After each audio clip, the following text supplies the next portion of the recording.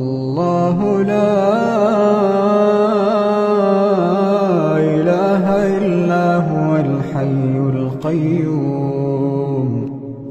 نزل عليك الكتاب بالحق مصدقا لما بين يديه وأنزل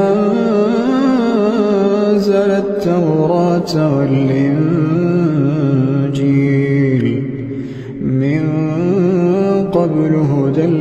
للناس وأنزل الفرقان. إن الذين كفروا بآيات الله لهم عذاب شديد. والله عزيز ذو انتقام. إن الله لا يخفى عليه شيء في الأرض ولا السماء أنزل التوراة والإنجيل.